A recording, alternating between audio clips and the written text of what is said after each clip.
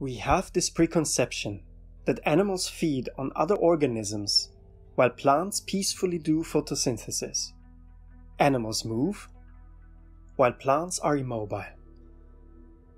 That may well be the case in the macroscopic world. At the microscopic level, this distinction between plants and animals collapses almost entirely. Euglena is both plant and animal. Euglena is mixotrophic. When magnified a few hundred times, Euglena mostly appears as a cigar shaped, almost worm like microscopic creature. Although its appearance may vary among its roughly 900 species.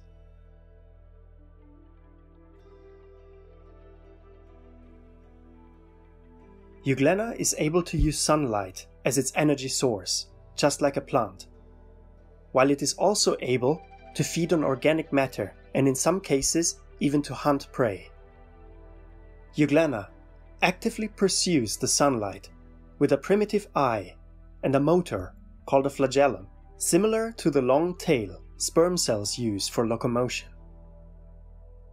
What makes Euglena's flagellum special is its positioning and its sometimes extreme fluctuations in length.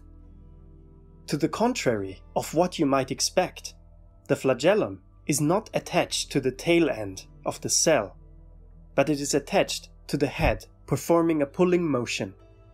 Some Euglena species have extremely short flagella, which are almost useless, while others have flagella so long they are more hindrance than help. Euglena can dispose of its flagellum and rely also on another form of locomotion called metaboly, which allows them to slither and glide like a worm. This is made possible by the flexible cell. Euglena has no cell wall and instead is covered in a thin, malleable sheath with a distinct surface structure. Considering these features, it is no wonder that Antony Leeuwenhoek described euglenas as green worms when he first discovered this microscopic wonder during the late 17th century. But euglena is all about the eye. Ehrenberg, a naturalist of the 19th century, decided that the eye should be the name giving feature of euglena, which is Greek for beautiful eye. This ominous eye is a distinct red spot, giving Euglena the appearance of a little angry dragon. The red eye spot is not light sensitive, on the contrary, it blocks light. The light sensitive structures are beneath and around it, allowing Euglena to determine the exact angle of incidence by the shadow the spot casts on the light sensitive molecules.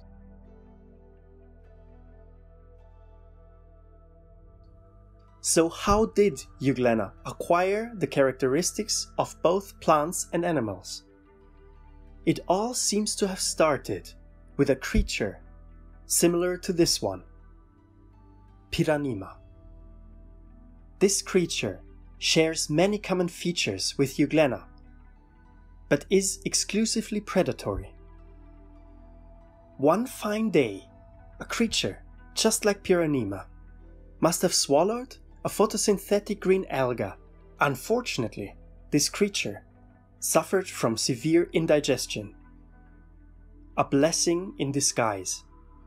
As a consequence, the chloroplasts, the cell organelles responsible for photosynthesis of this green alga, survived and were able to reproduce within its new host, and eventually assimilate to Peranema to become Euglena. Throughout the course of evolution, these incidents of indigestion on cellular level are more frequent than you might think. Algae and plants also acquired the chloroplasts the same way from cyanobacteria. And this is also how we animals acquired our mitochondria, the energy factories in our cells that allow us to live. On a cellular level, indigestion is indisputably driving evolution forward. Euglena stores harvested energy in paramylon granules, a type of starch. These structures are very prominent in Euglena, taking up most space within the cell. Granule shapes vary from species to species. In Euglena gracilis, for example, they are rod shaped, while in Euglena sanguinea, they resemble discs. This extreme density in carbohydrates and other complex organic molecules makes Euglena an interesting candidate for the production of biofuels and as a potential food source of the near future. Let's take a closer look at Euglena's fascinating behavior. As an example, we will use Euglena sanguinea, the blood Euglena. It definitely is not hard to guess where this name came from. Its dark red color is striking. Euglena sanguinea's reddish tint is caused by a huge lump of carotenoids in its cell. This is how millions of blood euglenas look to the naked eye. Stunning. The sunlight causes them to swim to the surface, where they form a dense layer drifting on the surface. The cells ball up into perfect little spheres and secrete a gooey, gelatinous substance perfectly transparent to light, preventing them from drying out and serving as a matrix for communication and perhaps even for the exchange of nutrients. The cells drift on top of the surface like a raft. This is how they maximize exposure to sunlight and at the same time gaining easy access to CO2 and other gases in the atmosphere. In these conditions, their photosynthesis is going full throttle, causing the gelatinous matrix to bubble up with oxygen.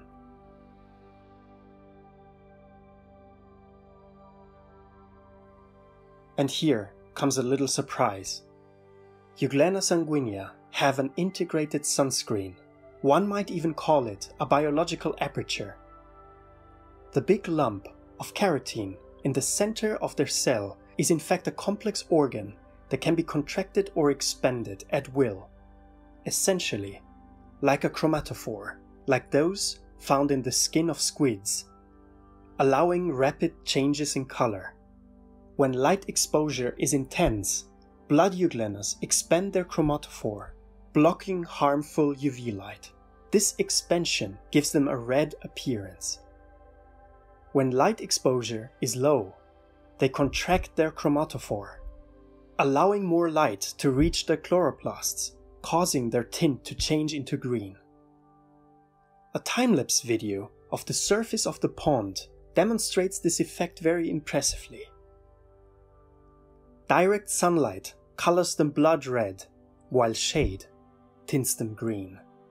In this footage, you can see the expansion of the chromatophore happening under the microscope as they try to protect themselves from the intense light of the microscope illumination. When the layer of cells drifting on the pond's surface is disturbed by mechanical stimuli like rain or splashing, the cells start to dissolve the matrix, shifting back into Euglena form and start to swim into the gloomy depth of the pond, where they are waiting for the return to the surface. What fascinating creatures they are. Thank you very much for watching. Let's dig up some more dirt and see you the next time. Bye bye. Please listen carefully.